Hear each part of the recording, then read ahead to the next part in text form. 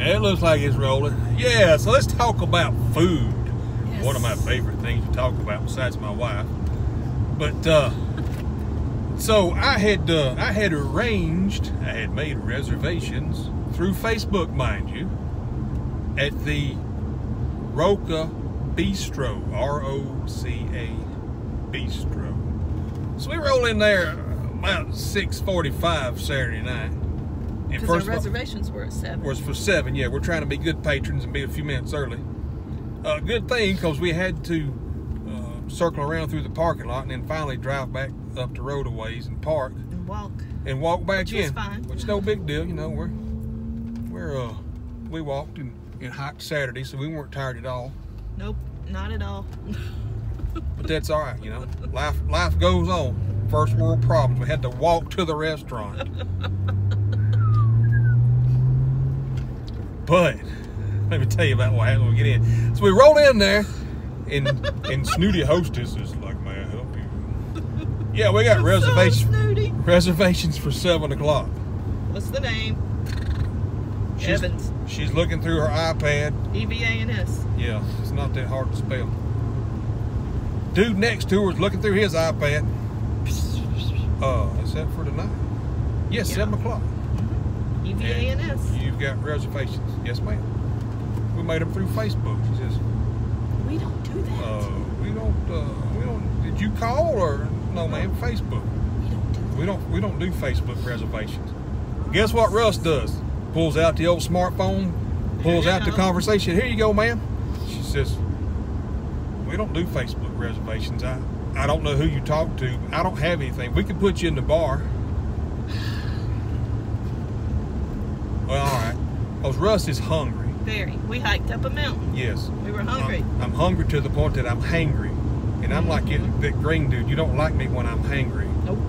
I get kind of mean and my stomach growls and people thinks I'm really a bulldog or something. So, uh, yeah, they uh, usher us to the bar, to a table in the corner, which is fine if you want to be loud and obnoxious, not celebrating your uh, your 25th wedding anniversary, your wife's 29th birthday. means I was four when we got married. Yeah, I like them young. But uh, so yeah, so the first thing you know, they they they flop us down and, and we we both pile up in the corner because we're lovebirds and all that.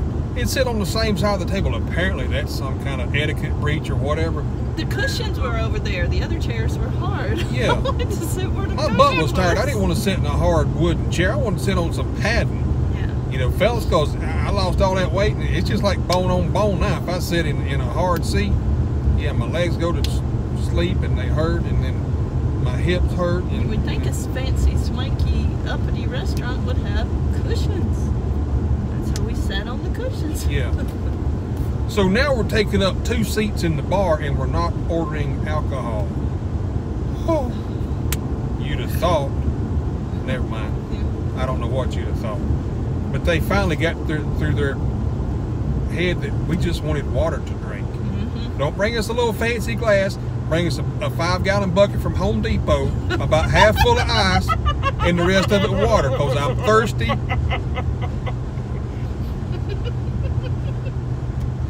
I'm thirsty, and I don't want to, no, don't want none of your six dollar a can local brewery beer.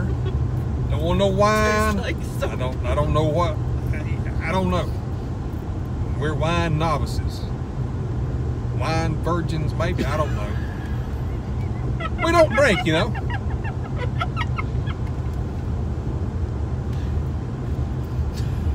Okay, go on. So yeah, we're we're in the we're sitting in the bar taking up space, and we're not ordering alcohol. So you know they've already had to go out of the way to seat us. I, I wish we just got up and left. So I'm looking at the menu and I'm thinking, twelve bucks for a pizza. That's that's pretty good. They got some pretty good pizzas on here and and stuff.